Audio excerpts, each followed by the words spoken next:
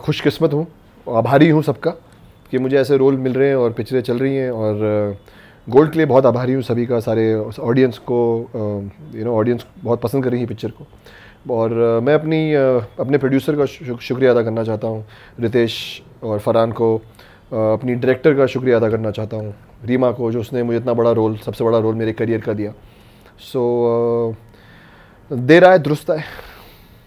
सो movie में देखा जाए तो एक हिस्ट्री है। एक आम इंसान के लिए एक हिस्ट्री है, एक मूवी है। आपके लिए क्या खास है? ये मोस्टली किस तरह टच करती है आप? जैसे आप सबको करती है, मैं भी इंसान हूँ। यू नो मुझे भी इंडिया की हिस्ट्री टच करती है। और ख़ास तौर पर मुझे ये खेल सीखने को मिला।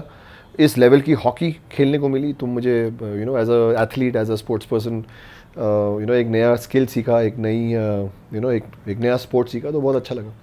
सो आप साइकिलिंग करते हैं तो आप अपनी लाइफ में मतलब स्कूल लाइफ में कॉलेज लाइफ में कभी हॉकी खेला था आपने? मैं हॉकी नहीं खेली मैं फुटबॉल बहुत खेलता था। सो ये पहली बार मुझे सीखनी पड़ी एकदम ग्रास रूट लेवल से एकदम।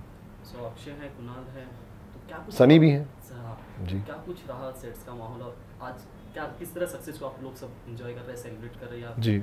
बहुत मेहनत बहुत मेहनत की है। सनी मैं तो हम लोग बस दिन रात हॉकी खेल रहे थे क्योंकि हमें बहुत हॉकी खेलनी पड़ी फ़िल्म में जैसे आपने देखा है। सो वी जस्ट ट्रेनिंग है ऐसा कुछ मज़ा नहीं है। It is a tough film so जो जिसके ऊपर आपने फ़िल्म बनाई एक हिस्ट्री एक रियल बेस्ड थी उस तरह से कोई कॉम्प्लीमेंट आया कुछ आपकी बात हुई? हाँ लोगों को अच्छा लग रहा है वो वक्त अच्छा लग रहा है। लोग बहुत पेट्रियाटिक फील कर रहे हैं। जो उस वक्त में जो इंडिया में जो जो हालात थे जो यूनिटी थी एक स्पोर्ट ने कैसे पूरे देश को जोड़ दिया था ये सब जो भावनाएँ हैं लोगों को टच कर रही हैं। लोग इमोशनल हो रहे हैं और एक उनको एक अच्छी फ़िल्म देखने को मिल रही है। सो अच्छा लगता है कि जिस उद्देश्य से आपने एक पिक्चर बनाई थी। और वो लोगों को समझ में आ रही है और वो लोग लोग उसको एक्सेप्ट कर रहे हैं। सो so, अच्छा है। सो जब फ़िल्म स्टार्ट हुई थी अक्षय है जिस तरह उन मतलब उनकी मिसाल दी जाती है आज तो उनसे कुछ बातें जो आपने अपने पास रखी हो कि आप हमेशा अपनी लाइफ में आप साथ लेके चले ऑफकोर्स ये लोग बड़े हैं इतने बड़े स्टार्स हैं इनसे इनके आसपास रह के बहुत अच्छा प्रभावित प्रभाव होता है। और मैं भी बहुत मैं भी बहुत प्रभावित हूँ अक्षय सर से उनमें बहुत क्वालिटीज़ हैं मैंने काफ़ी कुछ सीखा है।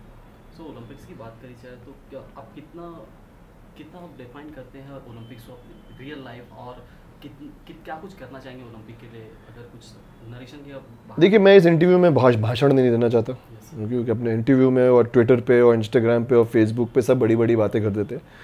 बट आई जस्ट होप कि हम इंडिया में एथलीट की रिस्पेक्ट करें। वो क्या स्पोर्ट खेलता है उससे आपको लेना देना नहीं है।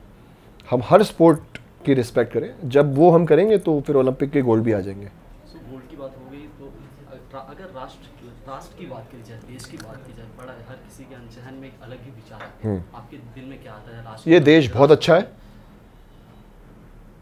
ये इंडिया दुनिया की one of the most beautiful countries है।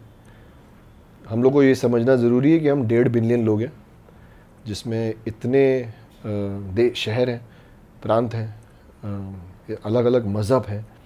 उसकी वजह से यू नो और हम लोग तभी भी इतना मिल के इतने स्नेह से, इतना, इतने प्यार से हम लोग रहते हैं। और एक दो परसेंट जो ऊंच नीच होती है, वो हर जगह होती है। ये तो क्या इंसान की फितरत है कि जब थोड़ा ऊपर नीचे कुछ होता है तो हम उसको उछालते हैं।